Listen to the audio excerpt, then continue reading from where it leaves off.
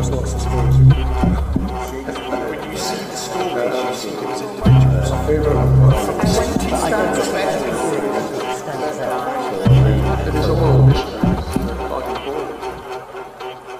I'm Kim Foden.